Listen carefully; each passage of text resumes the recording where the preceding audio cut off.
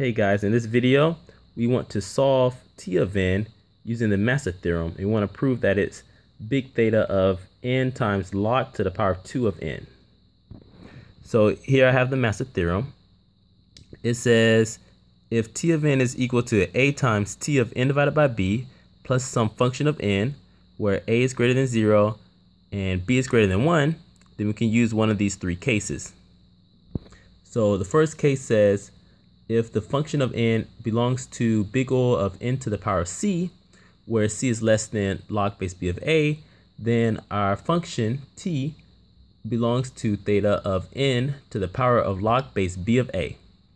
Case 2, if the function of n belongs to uh, theta of n to the power of c times log to the power of k of n, where c is equal to log base b of a, and k is greater than or equal to 0, then our function t belongs to big theta of n to the power of c times log to the power of k plus 1 of n.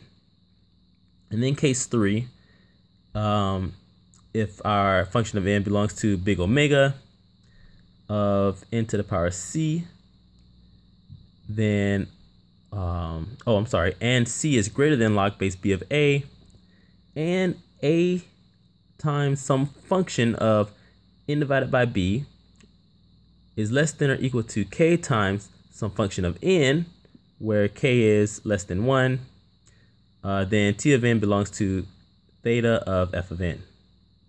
So let's go ahead and solve this here. So we see that it's in the form of uh, the master theorem here. So our a is equal to 2. And that's our A there.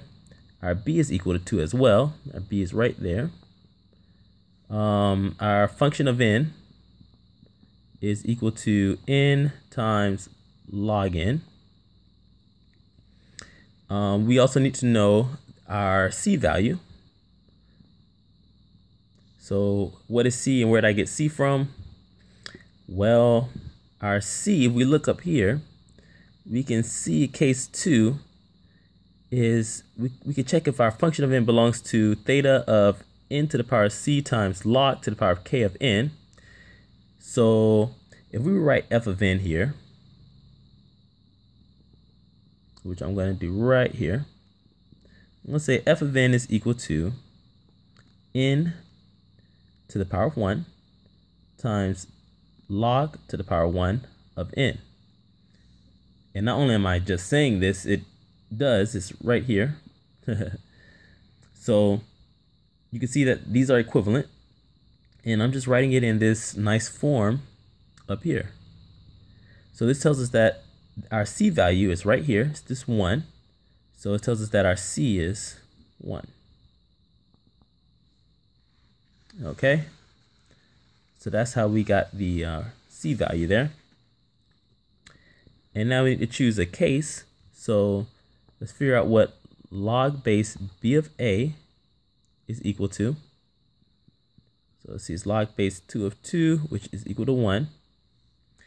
And we want to check, uh, you know, log base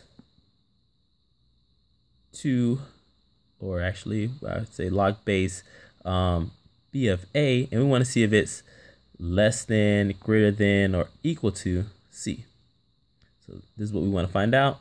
And we can see that it's equal, right? So log base B of A is equal to 1 and C is equal to 1. So that means that we're going to use case 2. So uh, case 2 says if f of n belongs to theta of n to the c times log to the k of n, where c is equal to log base b of a, and k is greater than or equal to 0, then t of n belongs to theta of n to the c times log to the power of k plus 1 of n. And so, all we have to do now is plug in chug. So we say our t of n belongs to theta of n to the c times log to the k plus 1 of n. And I did not write our K value there. So let me show you guys um, where we're gonna get this k value from. So again, I'm gonna rewrite f of n. f of n is gonna equal n to the power one of log uh, to the power of one of n. And so right here, that's our k value and that's our c value. And that didn't really look that well. I'm going to rewrite that one more time. n to the 1 times log to the 1 of n. This is k. This is c. Okay? So our k value is 1. Make sure I write that here.